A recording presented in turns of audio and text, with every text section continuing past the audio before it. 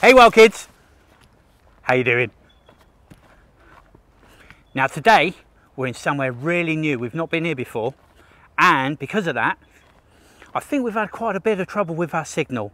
So what we're going to do is we're going to do another video for you just so that you can see all the beautiful things that we've seen because it's been amazing and some of the stuff you've not been able to see. So we're going to show you again if that's okay.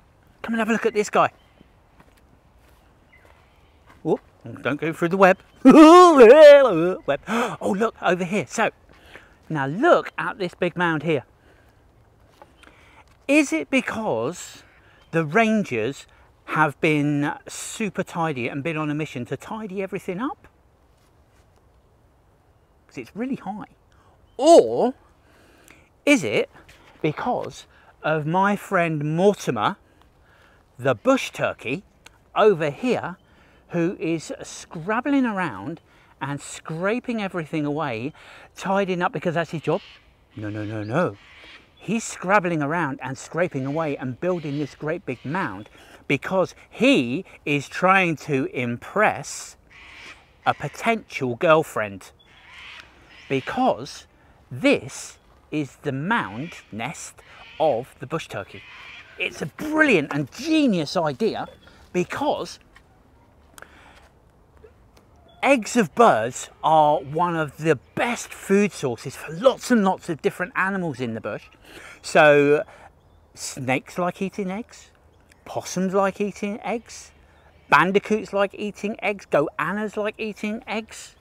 So many different animals eat eggs. And being a good parent, the bush turkey does not want its eggs eaten. So what it does is it builds this great big mound when the girlfriend comes along, she thinks, oh yeah, that's a nice one. She digs a hole in the middle and lays her eggs in the middle of the nest and then covers it over and then leaves it.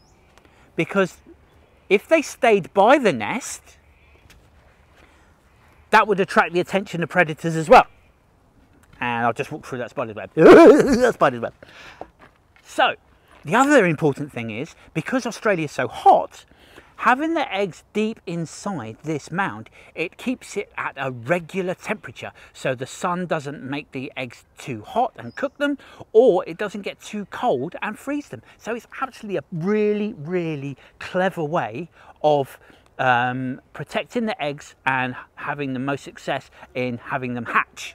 Now, up in the trees at the moment, there are loads of birds. I don't know if you can hear them because we've got cockatoos, we've got corellas, there are splendid wrens, there's little um, firetails, and down here is the reason why.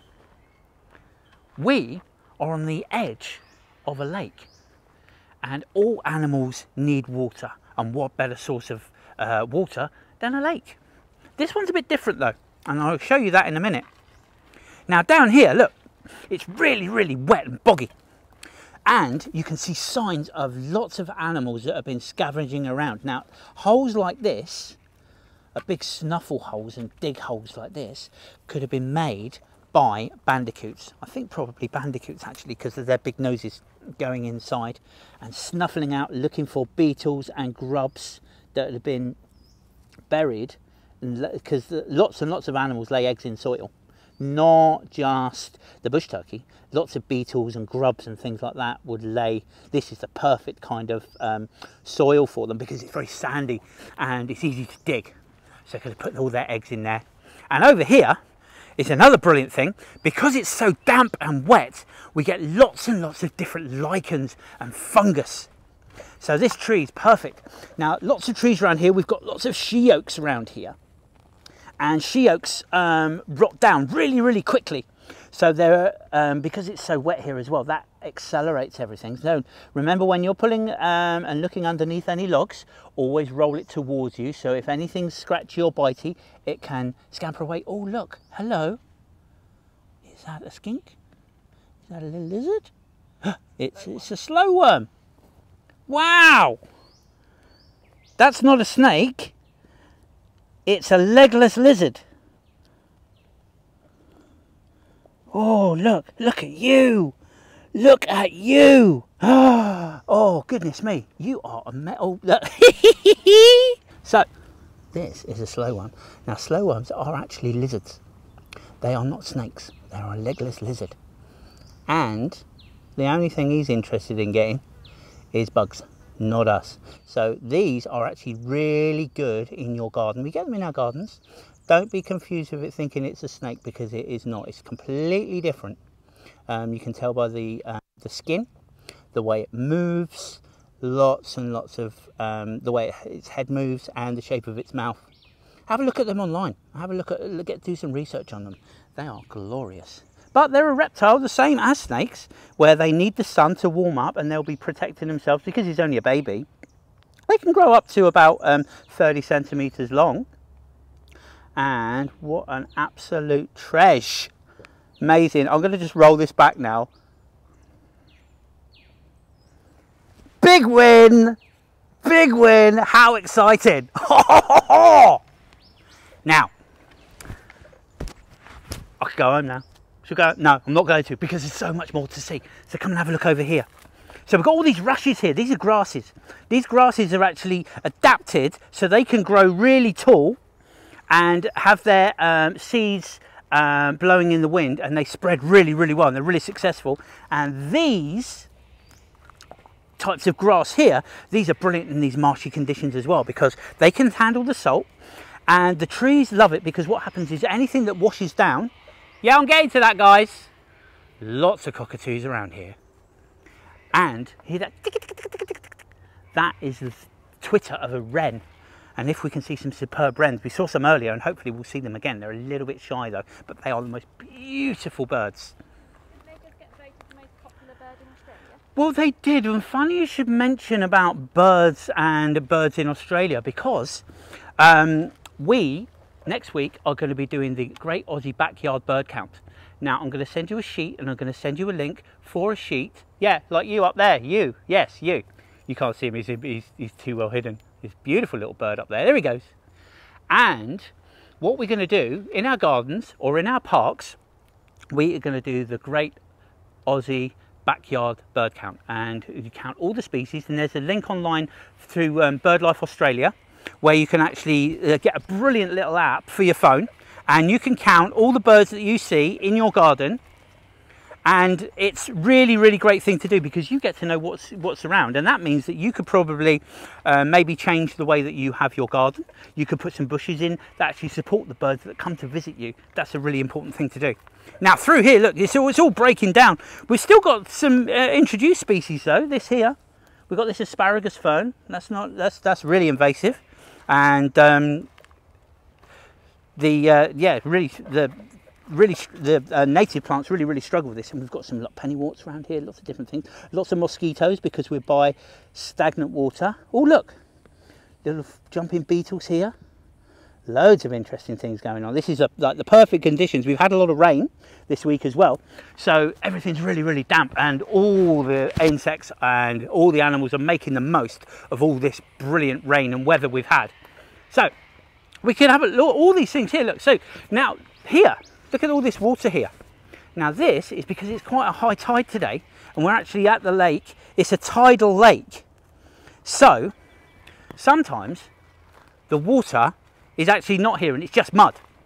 And in that mud, we've got little mud crabs, we've got lots of shrimps, lots of baby fish, and th these little little bits like this, where the, the fingers of the water, just like little fingers of water just reaching in up into deeper into bits of the land are the perfect nurseries for baby fish. And there's lots and lots of little spratlings um, in uh, this time of year and what we're going to do come with me and I'll do a bit of pond dipping. It's one of my favorite things to do. And here is a great spot for it. Now the interesting thing about this lake lots of lakes generally are freshwater but this, whoopsie,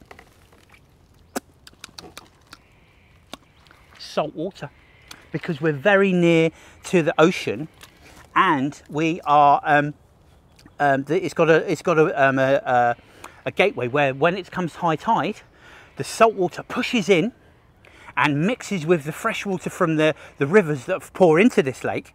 So it's got a mix. It's not as salty as a normal sea, but it's, it's salty all the same. So with that in mind, we have all these different um, types of trees that are here that can actually um, handle living in salty conditions. So we've got mangroves here, we've got the she oaks that really don't mind it being really boggy and wet.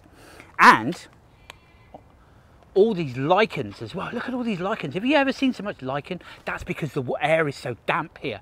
Even like, you know, um, first thing in the morning, there, there's always mists that are hanging over this water.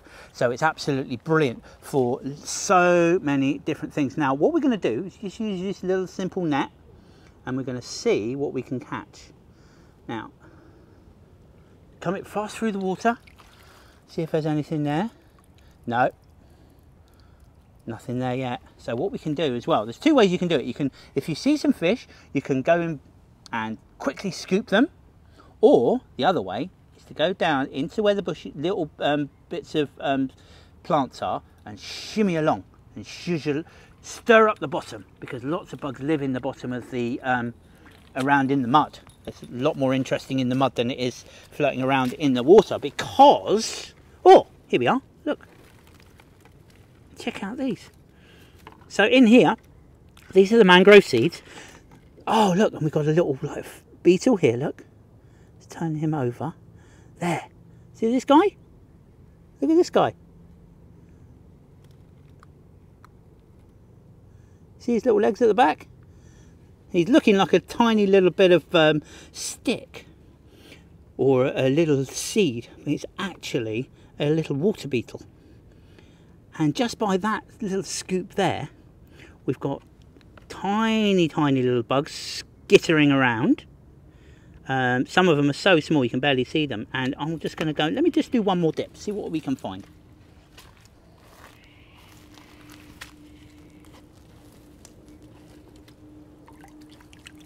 Anything in there? Nope, just some reeds. Let's do one more dip. You could do this as many times as you like. So quickly move it over to the water, plonk it in. I've got some reeds there and bits of grass. Now lots of the, the bugs hide on this. They're so small they can hide behind these little bits of um, grass. And then we can see what we can find. Now let's have a look here. So in here Let's have a look. You've got to be very gentle. You don't want to smash it around. But, what can we see there? Ah, there's a little shrimp. There we go. There he is. Little tiny shrimp. There's another, and there's a fish. Cool, a little spratling. Like I said before, areas like this where the mangroves are, the mangroves have lots and lots of roots holding them into the um, very, very unstable mud. So, look at the little shrimp there, look. See this guy? See him? Amazing. So small, absolutely transparent. And that's actually protection for them. So, like I say, the, the roots of the mangrove that are here are the perfect nurseries for, um, for baby fish and small fish species and also for little shrimps because the big predator fish can't actually get in to um, to um, eat them. Now, the mangroves themselves are a genius plant. Have a look at this. Now this is the mangrove seed. Now look at down there. That's the root. Now this is floating. And what will happen is it will drop off the, the branches, land in the water, get pushed along by a bit of wind.